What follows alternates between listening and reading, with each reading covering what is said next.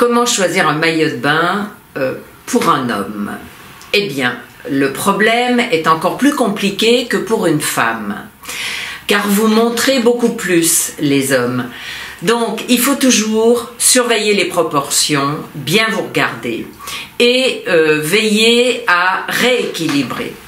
Si vous êtes parfait, avec le ventre plat, euh, la même hauteur de buste et la même hauteur de jambe, vous pouvez quasiment tout vous permettre. À mon avis, pas le slip moulant, euh, ça, euh, à mon avis, il vaut mieux l'éviter même si on est très beau. C'est franchement très vulgaire.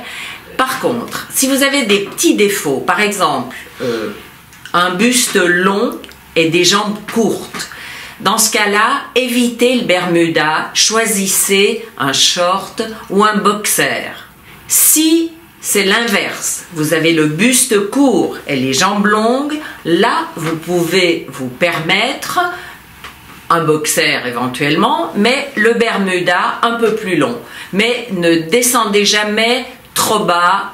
Euh, il faut rester bien au-dessus du genou et surtout pas au-dessous du genou. Vous avez du ventre, euh, il faut faire attention, euh, ne pas avoir, il faut choisir un short plutôt, un Bermuda éventuellement, mais pas trop long parce que ça risque de vous tasser, et euh, un short qui soit pas bouffant Faites attention à ça. Il y a des shorts mal coupés qui font barboteuse. Donc, quand on a du ventre, il vaut mieux également peut-être éviter l'élastique et choisir le cordon un cordon que vous pouvez régler, donc ça, ça ne vous boudine pas.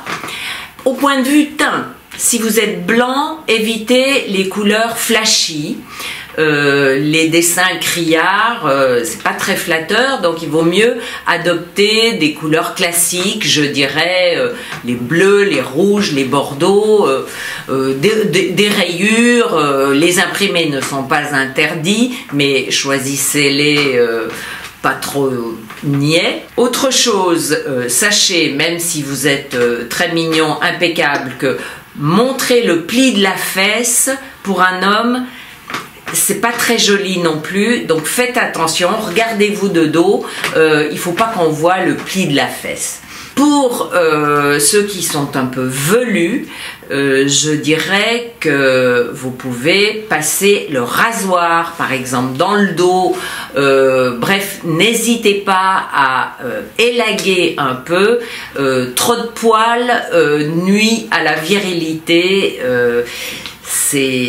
ça fait un peu désordre. Donc, élaguer un peu, éviter les poils dans le dos, dans les, dans le, autour de la taille là, et enlever un petit peu devant, euh, ce sera beaucoup plus sexy.